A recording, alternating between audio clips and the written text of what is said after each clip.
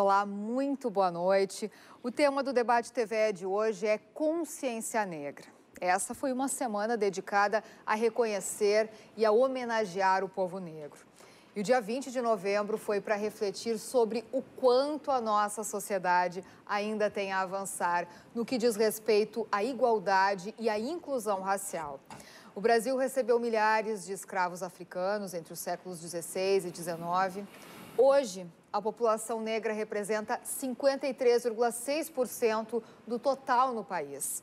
Entre os mais pobres, negros e pardos, são 75%. Com um contexto de muitas lutas e preconceito, o quanto o racismo ainda persiste no dia a dia. E os direitos para essa população, será que avançaram? Para debater questões como essas, nós recebemos aqui hoje os nossos convidados.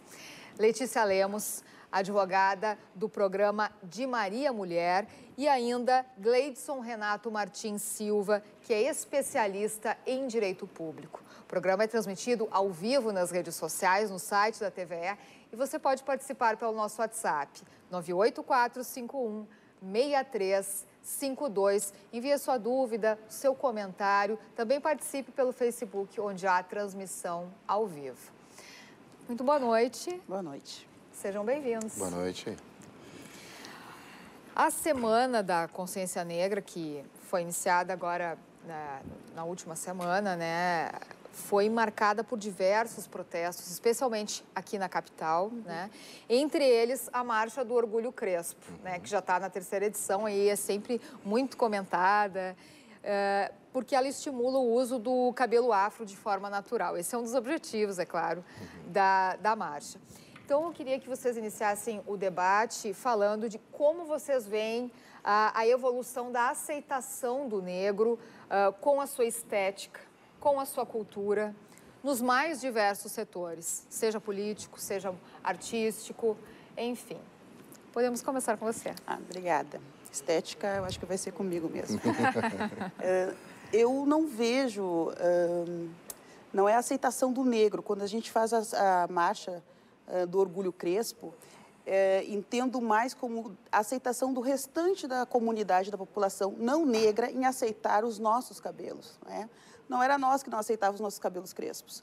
Era o seguinte, é, para no mercado de trabalho, muitas vezes as mulheres negras eram solicitadas, requisitadas ou deixadas de serem contratadas por manter o estereótipo natural. Né? Então, nós vivemos numa sociedade que tem um padrão de beleza definido previamente, né? Tem que, ser, tem que ter cabelo loiro, comprido, liso, tem que ter olhos claros. E a tentativa da população negra sempre foi para poder alcançar os mercados, o mercado de trabalho, teria que tentar se uh, parecer, transparecer um pouco mais próximo da população não negra. Agora a gente está dizendo que chega, a gente não vai mais alisar o cabelo. Nós não vamos, nós somos negras e nós somos assim. E as pessoas vão ter que aceitar. Então, não, não, claro que todos nós vivemos nessa sociedade, durante muito tempo foi dado um padrão de beleza e a gente se habituou, tanto negros e brancos se habituaram a entender que aquele era o perfil. Então, vai ter pessoas que vão dizer, negras, que vão dizer assim, ah, eu não gosto do meu cabelo crespo, né? eu gosto do cabelo liso e tenho o direito, mas isso não pode ser definido como regra. Eu tenho, sou obrigada a alisar o meu cabelo, não pode mais. Não deve ser mais assim. Eu faço porque quero e não por uma pressão social. E além uh, nessa parte, dessa parte estética, nos outros setores, né? Como é que tu vê, já aproveitando uh, não só o negro, mas a mulher negra, como a, a, ocupação dela e a valorização dela nesses outros espaços. Como é que tu vê a, a evolução nos últimos tempos, tanto na política como uh, na área artística? Tu ainda acha que, por exemplo, na música, ela, ela ainda está restrita a, a, algum gueto, a algum ritmo específico? Ou tu já acha que isso já está expandindo? O que, que ainda falta? Como é que tu vê essa evolução? Eu não acho, né? Eu tenho certeza. A gente ainda tem muito que avançar. A mulher negra continua sendo ainda a pessoa mais discriminada na, na sociedade brasileira. Ela é que mais sofre a discriminação. Então, por mais que tenham, tenhamos avanços, né, e por isso que a luta da mulher negra, quando ela se organiza, por exemplo, Maria Mulher é uma organização de mulheres negras, é a primeira organização de mulheres negras criada em 87. E ela vem lutando e levantando. É diferente a discriminação que a mulher branca, branca sofre e a mulher negra faz sofrer. É muito distante. E ela continua. Tem, temos avanço? Temos, mas ainda temos muito que avançar. Né? Não adianta eu estar na novela, aparecendo na novela como a empregada doméstica. Ah, mas agora ela avançou mas aí eu vou olhar o que, que ela avançou. Na verdade, ela deixou de ser a empregada doméstica, mas agora ela é aquela mulher que é a amante do ator, do protagonista, e que ele desdenha o tempo todo e não fica com ela no final da novela. Não adiantou muito. né? É, ainda querem impor uma, uma condição para que, ela, que a mulher negra fique. É a mesma coisa dizer que na Bahia as, me, as melhores cantoras, elas não são negras. É interessante isso. É, é interessante isso. E sim, ainda tentam nos colocar em determinados, na questão da musicalidade, tentam nos colocar somente em determinados espaços. A gente está em todos os espaços. Eu gosto de música clássica, mas as pessoas não vão valorizar e não vão aceitar. Quando me olham, vão querer samba, Letícia. Ah, eu acho que samba, mas não sei se eu sambo tão bem. Uhum. É, é isso que acontece. Então, essas questões ainda têm muito que avançar. E elas estão avançando lentamente. Por quê? Porque ainda tentam reforçar estereótipos sobre maneira uh, frente à mulher negra. Perfeito. E agora, inserindo o Gleidson, bem-vindo. Obrigado, agradecer o convite, né, desta empresa pública é, de TV, é, onde nós acreditamos a importância que ela se mantenha pública, né, é, que é, na verdade, um, esta empresa, ela é uh, um patrimônio de todos os gaúchos e gaúchas, né? feita com muito amor para os seus profissionais. Então, uh, primeiro, agradecer a importância de estar numa TV pública né, que, que discuta as coisas da sua região e não pode estar uh, fora disso a questão racial. Uh, agradecer também a doutora Letícia, é uma é, eu sou meio fã dela, então fica meio complicado, que é uma, a vejo como uma, uma das grandes é, militantes advogadas negras, ou negra militante advogada que nós temos aqui é, no Rio Grande do Sul. É, pois bem, é, primeira coisa que eu queria lembrar, é, antes de entrar na, na, na pauta sugerida, é que nós estamos no dia 14 de, eh, de novembro, né? E hoje, é, é, 23, né? É, 23 de novembro. E hoje é, ainda estaríamos, né? Há 107 anos atrás, o gaúcho Felisberto, né? Ainda estaria lutando para que os negros da Marinha parassem de apanhar, né? A revolta da Chibata começou no dia 22 de novembro de 1910 é, é, durou até o dia 27 de novembro, né? E, e, é, e os marujos lutavam, né? É, por salários dignos, por condições dignas de trabalho, né? E foi só assim, com essa revolta, que acabou a chibata, né? Os trabalhadores, os marinheiros, que quando se falava em marinheiro naquela época falavam em pessoas negras, homens negros, né? Eles eram chibatados, né? Ah, então, um, eu, inclusive o estupim foi quando um dos marinheiros levou 250 chibatadas, quase morreu, né? onde geralmente eles davam um máximo 25, 30 chibatadas. Né? Então, nós estamos no, nesse dia 24 uh, se referindo então a esse episódio que foi uh, o grande líder, nosso gaúcho aqui, Felisberto. Bom, a questão da estética para nós, ela, ela não é só um, um problema, um componente psicológico, estético, como a própria Letícia já, já comentou. Ah, a questão da estética, para nós, quando nós discutimos, né, primeiro nós tivemos Uh, ou uh, um, um, período, ou pode ser entendido um período de assimilação, né? um período assimilacionista, onde os negros uh, queriam ou eram obrigados né, a assimilar o cabelo negro e tal. Bom, depois com o Black Power, exatamente isso, é poder negro, né? Depois de que a gente começa a fazer o que o Taguif chama de uh, uh, antirracismo diferencialista, é exatamente a possibilidade de ser diferente e obrigar o respeito ao diferente. Né? Então, quando essas uh, meninas e esses meninos começam a fazer essa discussão do cabelo crespo, não é só também para questão estética, não. Né? É para que um dos casos de de denúncia de racismo na cidade de São Paulo foi quando uma professora estagiária negra estava com cabelo black e foi é, sugerida, na verdade, o patrão não sugere, o patrão obriga, né? É, sugerida que ela é, alisasse o cabelo, né? Porque ela não estava com, conforme a beleza que eles acreditavam ser necessária. Então, é, é importante esse episódio, eu acho que já é um sucesso, né? Já é um sucesso, cada vez cresce mais. É importante, eu tenho uma, uma sobrinha, Nicole, eu tenho uma sobrinha de 10 anos e, e ela também passa por isso no, no colégio, né? Essa primeira, essa coisa de que... E, e, apesar que ela, nesse caso, então, ela é até mais, é, mais interessante que a própria mãe dela, é, porque ela quer soltar os cabelos, ela quer... A mãe dela, inclusive, tenta é, protegê-la, né? Mas ela quer soltar os cabelos black, ela quer é, assumir essa estética negra. Então, é, para nós é muito importante e salutar que isso aconteça e eu acho que já, é, já virou uma marca da resistência aqui em Porto Alegre. E a presença da mulher, como é que tu percebes? É que nós temos que entender o racismo como estrutural, né? A pirâmide social brasileira, é, ela não é dividida de, em gênero, né? Primeiramente, ela tem primeiro um recorte racial. Né? Então, quando as pessoas dizem que as mulheres é, estão nos, é, ganham menos que os homens, isso não é total verdade. Né? Porque as mulheres brancas, elas ganham melhor que os homens negros. Tem mais, mais tempo de estudo que os homens negros. E as mulheres negras? E as mulheres negras, por, por conseguinte, elas ganham menos que os homens negros. Então, a pirâmide, ela é primeiro racial, homem branco, mulher branca, depois homem negro e mulher negra. Então, a mulher negra está à base da pirâmide. Né? Mas não é de todo verdade quando a gente diz que as mulheres como um todo, né?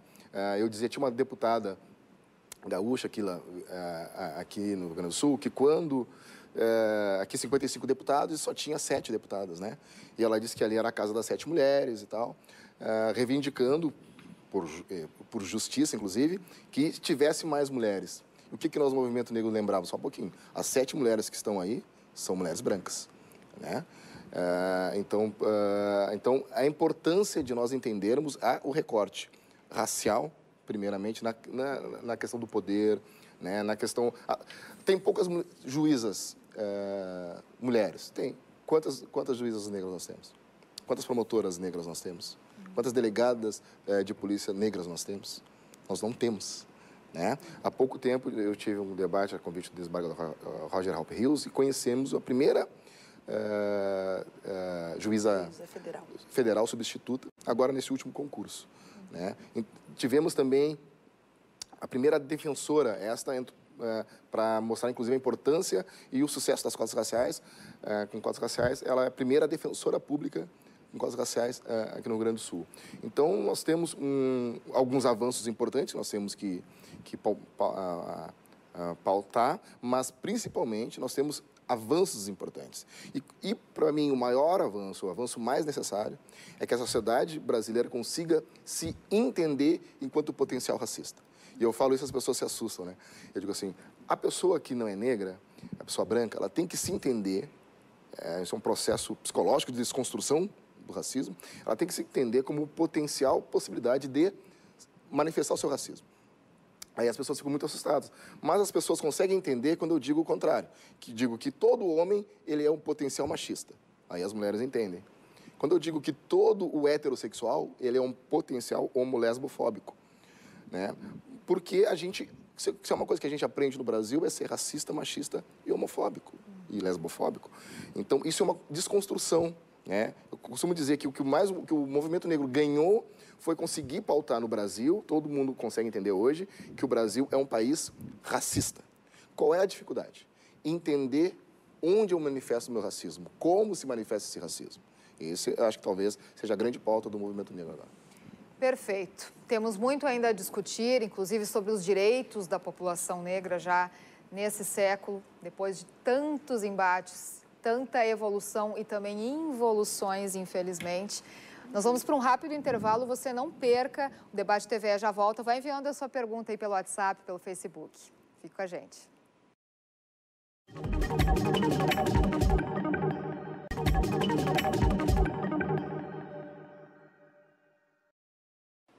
E voltamos. O Debate TV dessa quinta-feira trata da consciência negra, direitos, racismo, preconceito.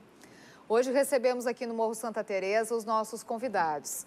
A advogada Letícia Lemos da Silva, que é a advogada do, de Maria Mulher, e ainda o Gleidson Renato Martins Dias, que é especialista em direito público. Lembramos que o Debate TV é transmitido ao vivo nas redes sociais, no site da TV e você pode participar pelo nosso WhatsApp 98451 6352. Envie sua dúvida, seu comentário, sua crítica. Também participe pelo Facebook. Bom, falávamos ali então uh, da, do espaço, da evolução uh, ou não uh, do espaço do negro, da mulher negra. em diversos setores, né? desde a política até o meio artístico. seguindo dentro uh, dentro dessa questão. Queria que vocês falassem um pouco sobre os direitos da população negra nesse século, né? O quanto avançou, uh, o, o, que direitos que até não são tão conhecidos, uhum. né, da, dessa população e que, e, que devem chegar até ela. Também a gente sabe aí, estávamos falando né, do meio artístico, uh, como é que fica também essa questão, tinham cotas que foram criadas de participação na televisão, no cinema, né? Todas essas questões aí, eu queria que vocês entrassem nisso agora, começando contigo, né? Não, eu acho que é, o que tem de muito novo e muito que tem dado muito certo são as cotas raciais, né? as cotas raciais. É, a foto, para quem viu a foto da URGS agora no dia 20, é uma foto histórica. Né? Uma foto histórica é, onde a gente vê centenas de, de meninos e meninas negras que serão os advogados, os engenheiros, os médicos, né? É, então, as cotas raciais, ela, ela é, modifica radicalmente o lugar que a sociedade brasileira é, planejou para a população negra. Né? Porque quando a gente fala de racismo, a gente tem que entender o racismo como um processo de poder, onde a população é, hegemônica, a raça hegemônica, a raça branca, ela pensa isso de forma direta, inclusive indireta, né? É, ou seja, de forma intencional ou não intencional, é, um lugar para a população negra. Né?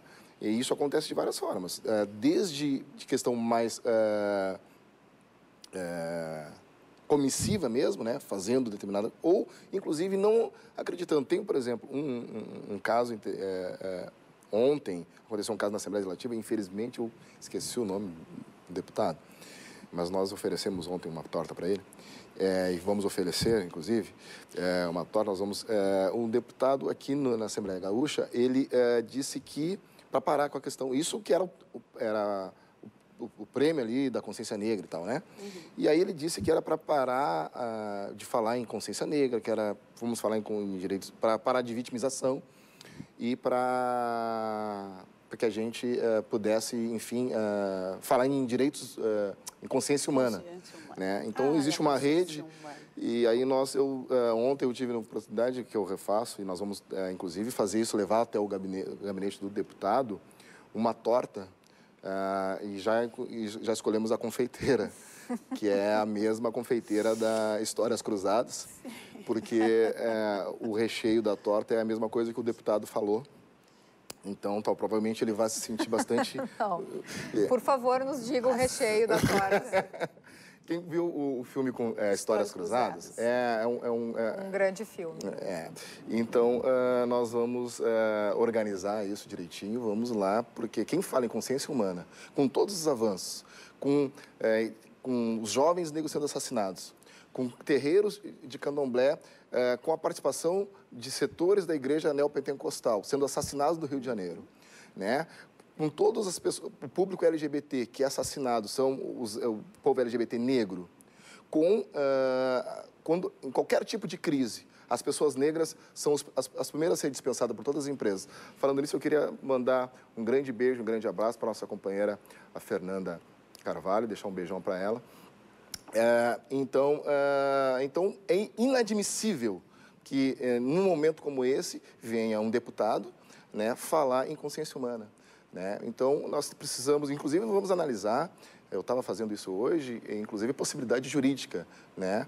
para interpelar uh, o deputado, porque não dá mais para aturar com todos uh, a mídia hoje discutindo, nós temos avanços sérios, né? Que um parlamentar se posicione dessa forma, né? E isso é uma das, um dos problemas do racismo, porque a pessoa, o racismo, é, qualquer um acha que sabe, né? Eu costumo dizer isso. Se, se você é, é chamado para falar sobre física nuclear, você vai dizer assim, oh, não, não entendo nada disso. Você vai falar sobre medicina, não, não sou médico. É, sobre racismo, qualquer um tem que adaptar, sem ler nada, sem estudar nada, né? como se isso fosse algo raso. Né? E mostra não só o despreparo desse deputado, mas principalmente o seu racismo. Né? E nós não vamos deixar assim. Sim, e na verdade, quando a gente fala em a questão da consciência humana, né? É, vem de novo a pergunta que tu fizeste: quais são os direitos do povo negro? Os direitos do povo negro são os mesmos do povo branco. É, a Constituição está dizendo isso. É. Mas aí, nem sempre são cumpridos. E aí que a gente não fala em consciência humana. Por que, que a gente tem que falar em consciência negra? Porque a gente sabe que os direitos estão aí para todos, uhum. mas há uma parcela da população, e essa população, ela é negra, que é deixada de lado. A elas não é concedido, garantido esses direitos que a Constituição prevê.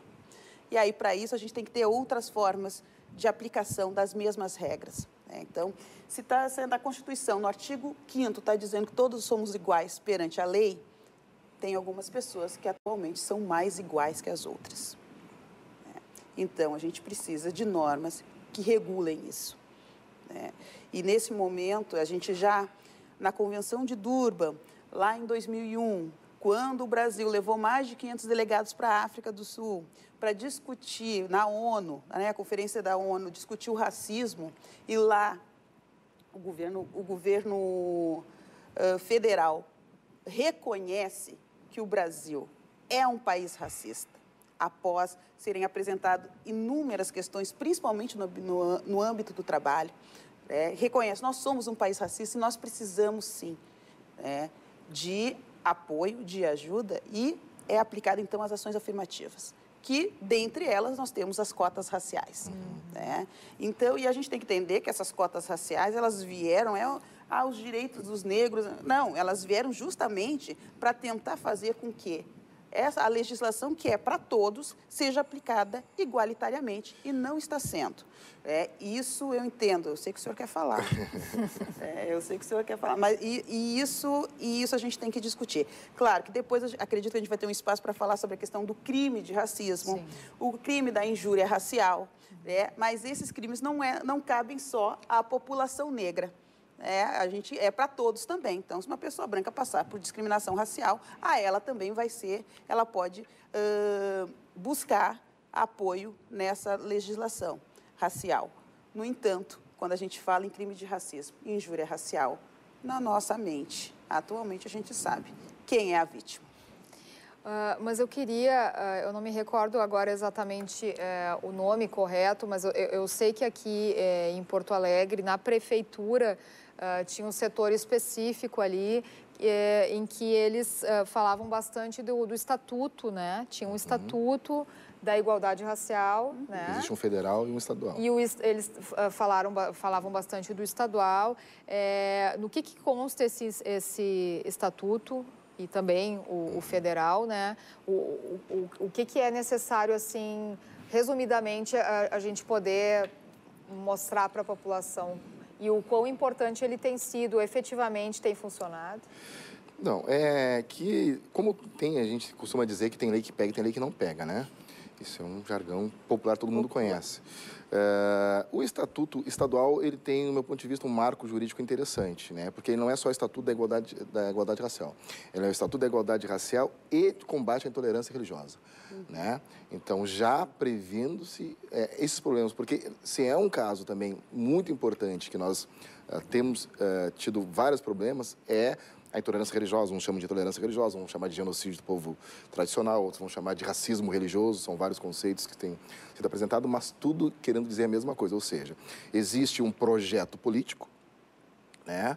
não é à toa que a gente fala em bancada uh, da Bíblia, né? então existe um, um projeto político onde uh, essa, essa função, essa visão de mundo, eles se uh, entram para dentro do Estado né? e se apropriam do Estado, fazem, criam normas. Só para dar um exemplo, eh, eu, eh, nós criamos um, É, existe o Conselho Estadual do Povo de Terreiro, eu faço assessoria jurídica para o Conselho Estadual do Povo de Terreiro, uhum. onde o presidente é o Babadiba de Manjá. E nós criamos ali, juntamente com a Defensoria Pública do Estado, um Ouvindo o Povo de Terreiro, que inclusive foi premiado no ano passado. Porque existiam várias formas dissimuladas de racismo religioso, onde aparente, um, um, um, problema aparentemente da ordem civil ou ambiental escondia a intolerância religiosa. Né? E, pasmem, pior que isso era a anuência, a participação do Poder Judiciário e do Ministério Público. Um caso específico, na cidade de São Leopoldo, a, uma mãe de santo foi proibida de sair da cidade uhum. e uh, a sentença do juiz diz entendeu? O que eu estou dizendo? Estou falando da sentença do juiz. Entende? A sentença do juiz dizia para ela ter aula de saúde pública no, município da cidade. Entende? Então, é, aí quando a gente vê que o judiciário né, toma um posicionamento desse, e quando a gente vê a anuência, é, a inércia do Ministério Público, que é, deveria ser o famoso cursos legis, né, aí a gente fica muito preocupado. Fica muito preocupado. Então, óbvio, existem avanços legislativos, mas os avanços legislativos eles têm que estar juntamente com o avanço político. Né? Ah, e nós estamos, como todos nós sabemos, num retrocesso eh, total de direitos né? Eh, no Brasil. Né? Ah, em nome de, uma, de, uma, de um problema fiscal que, na verdade, não existe, né? Eh, tem se ruído várias instituições públicas no Brasil. E quem perde com isso? A população mais carente, por óbvio, a população negra. Né? Então, existe avanço legislativo? Existe. Né? Mas uh, nós precisamos é, também, juntamente com isso, né, é, criar torturas de políticas públicas. Porque para acabar com o racismo, somente mudando as estruturas. Porque quando a Letícia fala em por que, que a gente geralmente não fala em direitos humanos e direitos fundamentais, embora, obviamente, quando a gente fala em, em combate ao racismo, estamos falando de direitos humanos e fundamentais, porque nós temos que ter uma especificidade de, de luta. Porque quando a gente, uh, infelizmente, uh, é o que uns teóricos estão chamado de branconormatividade. Né? Se existe a, se existe a macho-normatividade, tem umas, uh, umas teóricas também estão dizendo, ou seja, o mundo é pensado para os homens, então tem estruturas que as mulheres não podem usar batom, tem estruturas que as mulheres não podem usar saia, enfim, então existe também a branconormatividade. E só rompendo essa branconormatividade, com políticas públicas sérias de reestruturação do Estado da sociedade. Perfeito, Letícia. Respondendo à tua pergunta, a questão dos estatutos, né? Então, eles vêm para regular algumas condutas uh, da população negra, dizendo que é possível fazer, que pode, que não pode, mas não tem, infelizmente, um caráter. O judiciário atualmente não aplica conforme quando alguém não, não aplica adequadamente o estatuto. Então, quando o Gleison disse que ele é uma regra, uma lei que na prática não funciona, é isso mesmo, é não, não aplica, não funciona. É, não reconhecem uh, essas, essas normas e essas regras. Então, que, e por que, que não se faz isso? Porque ainda realmente o judiciário, hoje em dia, é ele que vai sentenciar as causas, embora a gente saiba que tem racismo, isso eu já falei em outros espaços, hoje eu já falei, eu acho que eu estou até rouca, porque eu já falei sobre isso embora uh, eles uh, a gente entenda que há racismo, há legislação para isso, mas na hora da aplicação, na hora que alguém diz que passou por uma discriminação racial, quando a vítima é um negro, a gente pergunta: será que é, será que foi isso mesmo? Será que era racismo? Será que ele entendeu errado? É, se questiona. Se a gente disser que, se eu digo que a pessoa passou por uma discriminação racial e ele, a vítima era um judeu, todo mundo sai em, defesa, todo mundo levanta a bandeira, o juiz vai lá e condena severamente a pessoa que praticou o crime de racismo contra um judeu. Não à toa. Mas este olhar para a pessoa negra ainda não ocorre. E aí eu digo, não é só uma questão judicial, mas é ele que deve aplicar a norma, né? Mas também ao restante da sociedade. Todo mundo questiona isso, esse questionamento. Então, há sim algumas legislações específicas justamente por conta disso. E mesmo assim, há uma grande eh, debilidade em aplicá-las. Né? É e há uma dificuldade, de... na verdade. E o, o que, quais são as barreiras, qual é a burocracia, o que, que falta para isso? Na verdade, às vezes não falta nada. É, eu, eu, essa semana eu estava fazendo um recurso de uma advogada, de uma médica que é negra, e quando ela vai assumir no interior do Paraná, ela usa dread. Então ela é chamada, ela chega na cidade, uhum. ela é chamada pela secretária da saúde, que senta com ela juntamente com outra moça e diz assim: Eu entendo que seja melhor, a gente falou na estética uhum. no bloco passado, eu entendo que seja melhor você mudar esse teu cabelo, porque eu acho que até cheira mal, né? deve cheirar mal. Os pacientes não estão acostumados com médicas com esse tipo de cabelo.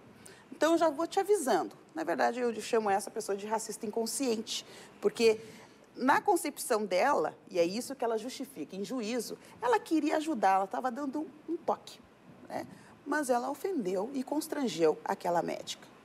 Na sentença, a qual eu estou apelando, o juiz diz o seguinte: mas não houve crime neste caso. Isso que eu estava no âmbito civil. Eu não estava pedindo, não estava criminalizando a conduta, porque não era um crime de racismo propriamente dito, mas era uma prática de discriminação racial passível de um processo de indenização de danos morais. Mas o juiz diz o seguinte, ele entende o seguinte, que não, não houve crime nesse caso, não houve, porque não é uma prática ilícita. Embora ela tenha agido com preconceito, a secretária da Saúde, ela só tentou informar. E como não era crime, também não ensejava danos morais. Ele fez uma lógica, uhum. ele deu uma volta, e eu digo isso, o racismo, ele é redondo, né? Sai, sai o boa, o boa aparência e se apresenta o currículo com foto. Então, neste caso, como eu estou na esfera civil, ele diz que, assim, como não é o crime de racismo não gera dano moral, mas eu não estou na área criminal. Mas... Né? mas constrangeu. E ele entende que ela agiu com preconceito. Se eu, se eu ajo com alguém com preconceito, é óbvio que eu estou constrangendo aquela pessoa. Quando eu aplico esse preconceito, eu estou discriminando. É, e mais, e constrangeu. E mais, o conceito de discriminação, ela, ele é constitucional conceito de discriminação é, é, constitucional pela Convenção Internacional de toda forma de discriminação. E ali, inclusive, ele tira a possibilidade do dolo, é, entende? Então, não, não tem... É, é, o, eu tenho um termo que eu chamo de hermenêutica jurídica da branquitude. Então, que é um problema que nós estamos enfrentando, que é, ou seja, a hermenêutica jurídica da branquitude, que é a forma é, de interpretação utilizada pelo judiciário, ela é uma forma que não enfrenta o antirracismo. Porque, primeiro, porque nunca foi preparada. Não existe uma faculdade de direito no Brasil que discuta racismo e antirracismo. Né? Esses profissionais entram e saem das universidades sem nunca ter, a não ser casos esparsos de um determinado professor ou professora que vai querer abordar isso. Agora, não é curricular. Na Semana da Consciência Negra. Até é, talvez vai ser né? especificamente no mês de novembro. É. E é, isso já começa um problema. Aí há um outro problema, né? que é, é essa, essa, essa forma de aceitar o racismo, de não procurar é, estudar sobre o, sobre o... E existem vários artigos, vários livros, inclusive na área do direito, né, que poderiam sanar a, a, essa... Mas existe um desinteresse, né? É sempre vitimizado a discussão, né? Ela é colocada em segundo plano, né? Até porque não é um, um, caso que eles vão passar. Então, não há uma preocupação, e, que é, o que é um problema, né? O que é um problema. Bom, a, gente vai para um breve intervalo. Agora, na volta, eu quero até perguntar para vocês aí como é que fazem a questão das denúncias, né? Como é que está essa questão aqui, a quem deve se recorrer. E adentraremos mais na questão do racismo. Você não saia daí. Vai vendo sua pergunta. O Debate TV já volta.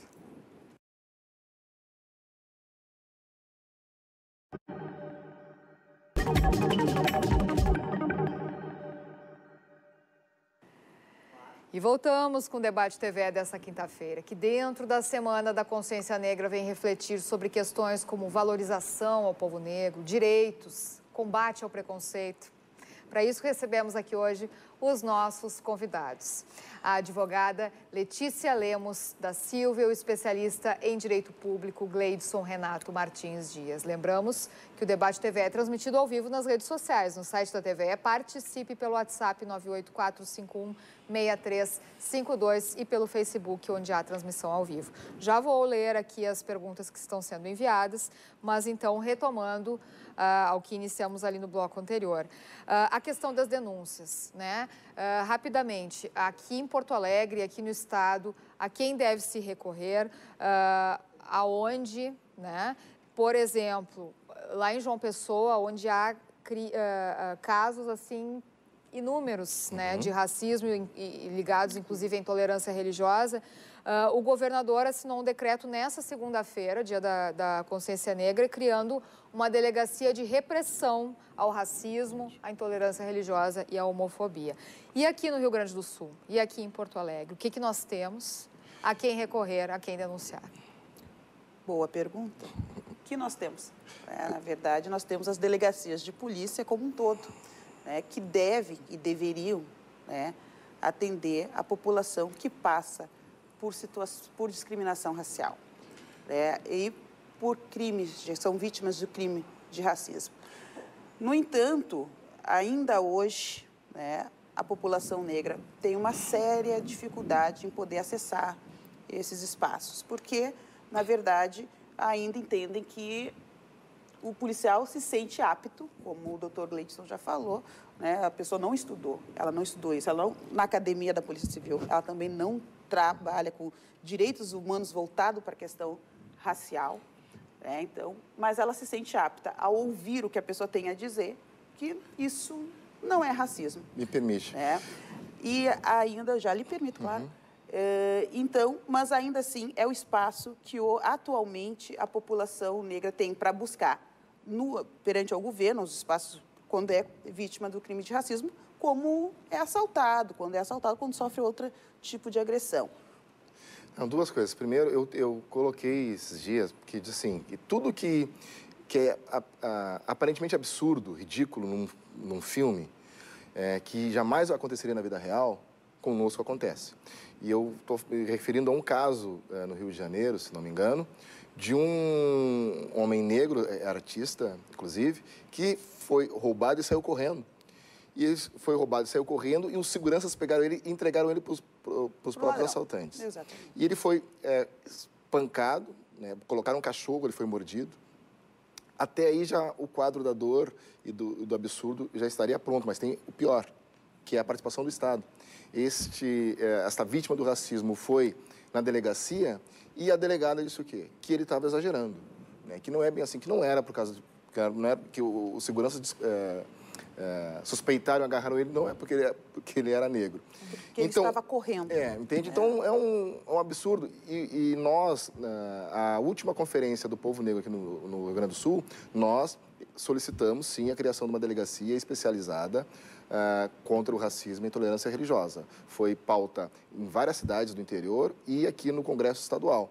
E também nós levamos para o Congresso uh, Federal, mas na verdade acabou não acontecendo. Eu acho sim uma saída importante, até porque a gente vai conseguir trabalhar com os profissionais. Aí o prof... é que, como a delegacia da mulher. Sim. Né? Vai ter um profissional lá formado com habilitado para uhum. conseguir identificar essa vítima, receber essa vítima, né? Uh, aqui, no, uh, aqui no Rio Grande do Sul aumentou em 250 o, o número de denúncias contra o racismo no Disque 100, né? No Disque 100, é, além. E, mas agora, qual o caminho dado para isso? Aí esbarra no que eu chamo na hermenêutica jurídica da branquitude, porque o profissional que vai pegar aquela denúncia provavelmente vai desqualificar aquela denúncia enquanto racismo. Né? Então fica bem difícil. Tem, tem como recorrer também nas, nas secretarias, em algumas secretarias, né, tanto municipais como estaduais aí de direitos humanos, eles têm ali nessas secretarias uh, uh, setores, Sim. né? Pra, tanto para a homofobia como para o racismo? Existem essas secretarias. Tá? Havia, não sei se ainda existe, o CRVV, Centro uhum. de Referência a Vítimas de Violência. Eu, dentro de Maria Mulher, até 2011, nós atendemos o programa SOS Racismo, onde a gente recebia as denúncias de discriminação racial e uh, oferecia, então, quando versava a questão de injúria racial, a gente apresentava queixa-crime ou então a gente apresentava representação perante aos órgãos estatais.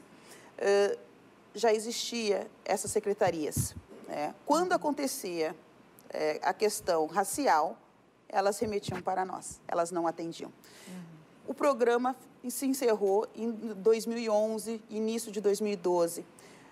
Até 2016, a secretaria me ligava uhum. quando alguém era discriminado. E eu pensei, pô, mas aí já passou cinco anos, né, quase cinco anos, vocês já podiam ter se aparelhado, se equipado melhor ou tentado entender o processo, certo. saber como agir. Né? Só que não há, não há este interesse. Não, isso que eu dizer. Tá? não, Não há este Bom, interesse. dentro disso, eu trago então a pergunta da Georgia, que chegou aqui. Tem um caso que aconteceu na minha instituição de trabalho, que é muito conceituada no meio, uma colega negra foi chamada de macaca, entre outros. Recorri a todos os órgãos para denunciar e nada andou, nem com o BO. A menina foi inclusive ameaçada e depois que esfriou o caso, ela mesma pediu demissão, pois nada ocorreu e a pressão foi grande. Fiquei frustrada. Sim, eu também ficaria frustrada, mas se eu contasse para você que dentro do SOS Racismo nós tivemos um caso onde uma moça, uma senhora, ela era chefe, uma senhora negra, ela é chefe de um setor. E ao passar na impressora, ela, ao imprimir alguns documentos, sai por engano uma impressão de um e-mail institucional de uma funcionária subordinada a ela para outra do mesmo setor, dizendo a macaca estava com a macaca, está com a macaca hoje. Ela manda assim, a macaca está com a macaca. Então, ela recorre, à época, recorreu ao advogado, que é isso que tem que ser feito, registra a ocorrência, busca um advogado que entenda, né, que tenha uma especialização nessa área, eh, para que ele possa orientar corretamente e ofertar uma queixa-crime, porque isso é um, é um caso de injúria racial. Ah, Pois bem, nós ingressamos com esse processo e a acusada, nem em juízo, explica o seguinte, que na verdade ela não estava se referindo à minha cliente. Ela não estava refer- se referindo à chefe. E sim à mãe dela, porque o fato tinha ocorrido uma segunda-feira, e ela tinha discutido com a mãe dela no domingo, e ela costumava chamar a mãe dela de macaca. Mãe dela é branca. Diga-se de Obviamente ela era branca. O pessoal entender. Eu não posso nem te garantir que ela fosse branca, porque a mãe não veio em juízo. Veio o pai para confirmar a versão da filha e dizer sim. Ela chama a mãe dela de macaca. Mais absurdo ainda é o juiz sentenciar dizendo: vou dar o caso como improcedente, porque na verdade ficou comprovado que a ré acusa, chama a mãe dela de macaca e não chamou, não teve a intenção de chamar a sua chefe. Tá certo. Antes da, da manifestação aqui dele também, é, o nosso programa já está se encaminhando para o final, estamos nos minutinhos finais e eu preciso falar rapidamente aqui, o, quero agora as considerações finais de vocês, retomando toda essa discussão e incluindo aí ah, os últimos casos de racismo que tivemos aí com grande repercussão, que foram de um jornalista, né, de uma grande rede nacional e também ah, da Thaís ah, Araújo, atriz, né? Nós tivemos aí essa notícia aí de hoje que o Fórum Nacional de Democratização vai apresentar uma representação contra o presidente da empresa brasileira de comunicação, Laerte Rimoli, que ridicularizou o discurso da atriz Thaís Araújo sobre o racismo no Brasil. Ela que falou, né, sobre o racismo, afirmando que a cor do filho dela fazia com que as pessoas mudassem de calçada. Então, a entidade pediu a imediata demissão do gestor da EBC, vai apresentar representação contra ele ao Ministério Público Federal. Sobre esses exemplos e sobre o que configura ou não crime e sobre as conclusões de vocês, eu já peço as considerações finais nesses minutinhos finais. Tá, primeiro, todo apoio à Thaís, né?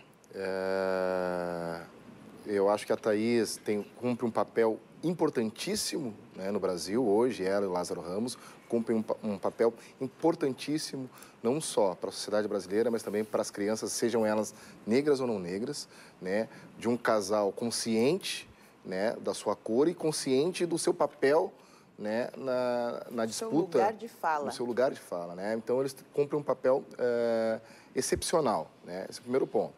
É, o, é, o segundo ponto é, sim, eu acho que tem que denunciar, né? Eh, nós continuamos eh, querendo que eh, o Ministério Público Federal, que o Judiciário com- comecem a entender a importância de nós barrarmos o racismo no Brasil e, e é, é- é- é importante ele criar a responsabilidade de, de buscar o que mais tem se falado, quais são os teóricos que escrevem sobre isso, enfim.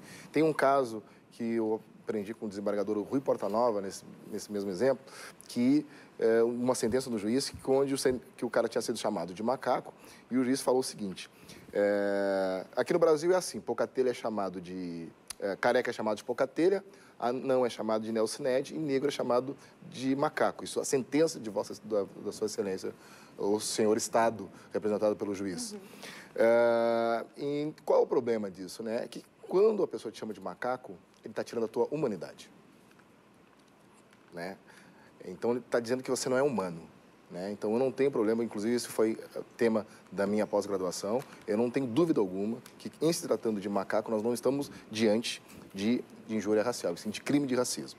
Né? Embora isso vai ser uma briga de interpretação, né? enfim, né? esse é um ponto. Mas para as considerações, para a gente, para eu não é, monopolizar aqui, é, opa, agradecer novamente né, o espaço, é, porque é muito importante, e eu sou testemunha, já vim aqui algumas vezes, que esta emissora não faz discussão da questão racial somente no, uhum. em novembro, o que é muito importante. Né? O racismo no Brasil tem que ser é, tratado diariamente. As pessoas têm que analisar a sua forma de manifestação de racismo. Nós temos que criar estruturas para combater o racismo. Nós, negros e negras, somos hoje 54% da população brasileira. E nós estamos prontos para dirigir o Brasil. É, nós estamos prontos para dirigir o Brasil. Né? Nossa. E quando, um, um, uh, quando nós falamos que vamos dirigir o Brasil, nós falamos e dirigimos o Brasil com inclusão. No, uh, no quilombo dos Palmares uh, existe, conviviam negros, brancos e indígenas. Né? Quando nós dirigimos o Brasil, nós vamos dirigir o Brasil de forma democrática. Tá certo. Um minutinho, então, para as tuas considerações finais. Eu agradeço novamente o convite, é sempre um prazer uh, participar de programas aqui nessa empresa. Um, a questão, o racismo, eu acredito que tenha, é necessário que todos nós, negros e brancos, comecem a olhar as nossas práticas.